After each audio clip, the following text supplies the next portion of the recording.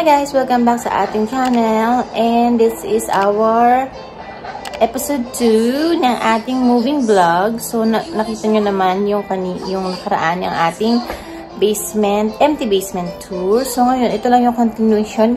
Um, parang same day ito. And, ipapakita ko lang sa inyo guys kung ano yung situation ng aming bahay today, ng aming apartment.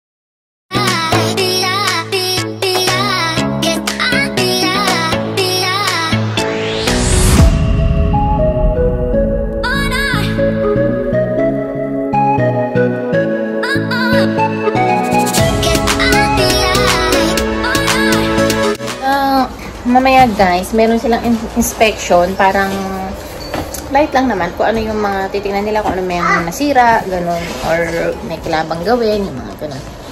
So anyway, ngayon ay naghahanap kasi ako, ako naglilinis kasi ako kanina ng ano, ng ng oven, kaya lang hindi ko alam, ayaw maalis kapag um, sabon lang ang ilalagay kasi kasi nakadikit na siya. Anyway, um, ngayon, nagtingin ako sa online kung ano yung magandang, ano, ito daw. Easy off. Ayan, ito. So, and then, yung naman sa amin, hindi naman siya maruming-marumi kasi hindi naman kami laging nagbe-bake. Nagbe-bake lang ako ng sushi, ng cookies, yung mga ganun lang. Pero yung mga ulam-ulam na tumitila-tilansik, hindi naman. So, ngayon, isprayan ko na to and lilinisin ko na siya and tingnan natin. So, kailangan ko muna mag-gloves and mag-mask kasi mabaho yun. So guys, mabaho kasi at saka kailangan daw mag-gloves.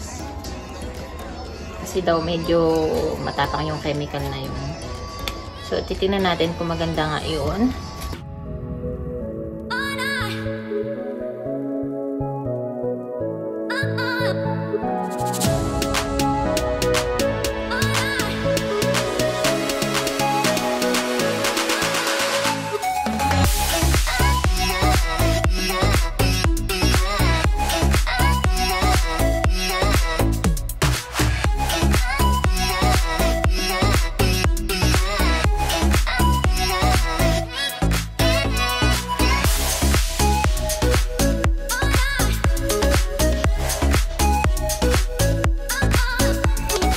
Guys, medyo hindi hindi natanggal yung mga itim-itim na, hindi man itim, ito yung mga mark-mark na yan na kung nakikita nyo.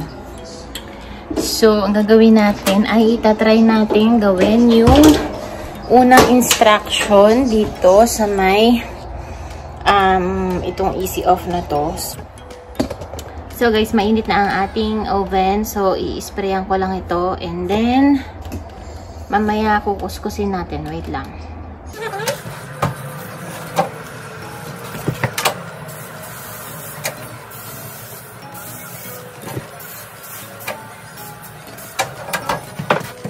So, ayan. Inisprayan ko na and then tingnan na lang natin. Mamaya mga 5 to 10 minutes na baho.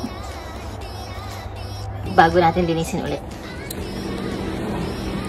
So, ayun na nga guys, in-sprayan ko na yung oven namin kaso ay sobrang baho niya. Kaya binuksan ko lahat ng electric fan, exhaust fan, yung bintana. Ha, matatang talaga ang amoy niya kasi siguro dahil mainit yung oven. So, yun. And, titingnan ko pa kung ano oras ko ma, ano, ma, malilinis kasi nga ma, ano yung amoy. Hindi ko, ano, carry bells. Hindi ko na, guys, na video kanina kasi may kausap ako sa phone, tapos nandito yung nag-inspect ko ano yung pa yung, kung may gagawin ba or may nasira ba. So, yun. And then, hinihintay ko na lang yung kanyang go signal kung kami ay pwede na maglipat. Maybe mga after 4.30 pa. So, yun. Um, tingnan natin kung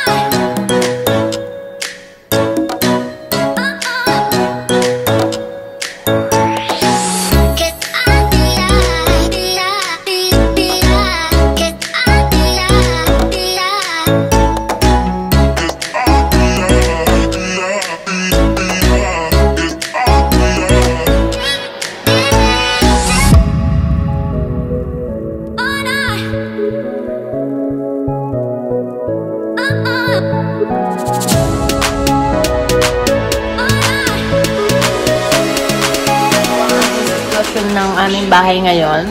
Um, 10.45 na ng gabi. Eh, ngayon pa lang kami kumain. Ayan. So, ayan po. Nakita niyo sa aking first ano, vlog ng moving. Moving, ano? Moving, moving, ganun. Ay, haggardness.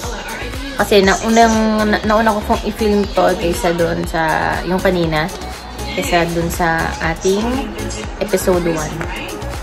So, yun. And, yeah, magulo pa din. Ayan, pero, ayan, itong kitchen, um, hindi ko pa natatanggalan ng mga plato. Pero mga plato na lang kaka-spices ni Eric. So. So, salamat sa pagsama. Sana samahan niyo pa ako sa mga ating mga episode na susunod. Okay, don't forget to like and subscribe and I'll see you on my next one.